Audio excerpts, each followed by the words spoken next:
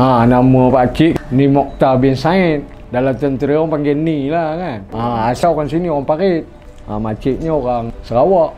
Pak Cik berhenti dah tahun 2000. Sebab makcik dulu ada sakit. Badan Pak Cik dulu kalau ikut. Dulu orang kata panggil Abang Sado juga lah. Ha, betul. Puncanya tu lah. Ubat. Ada botol kecil kan. Ha, Dia dia buang kolesterol. Ada kencing manis ke dia cakap oh pakcik pun try lah. Try-try lepas itu pop bila pakcik kerja sampah tu lepas tu pakcik buat jaga sini kat sekolah ni uh, 2016 tu badan tambah lagi ni tambah lagi. Masa makan ubat tu memang ada rasa oh sedap badan aku ni. Kan? Tu kerja sampah ikut lori ni. Bila berhenti sampah tu mana tak ada bekerja kira tak kerja berat-berat kan tak kerja. Tak kerja berat jaga tu pergi sana biasalah kan. Ha tu lah tidur. Dia jadi ni. Lemah. Lemah. Terus. Sampai nak makan pun Lalu. tak ada selera.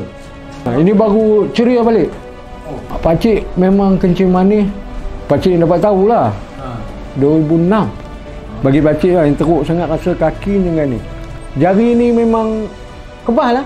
Kalau buat macam ni pun bunyi tau Pok ni tak ada dah. Sini rasa ibarat kalau kita ubur gam macam nak tampar kulit kan?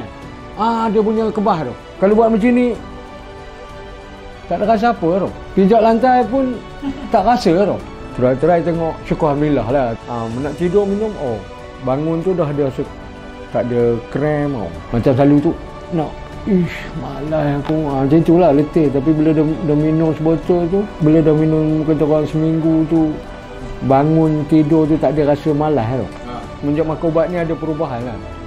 Ha, macam selalu sini sakit kan. Tak ada dah. Ha, jari ni.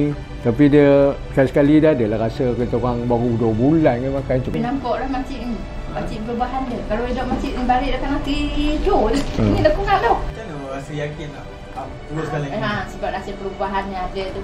Dia yakin dah. Dia Ah. macam ni memang alhamdulillah lah. Memang syukur sangat memang kan. Kak, ah, macam makcik pun ada masalah kesihatan. Ah, kesihatan darah tinggi, kolesterol.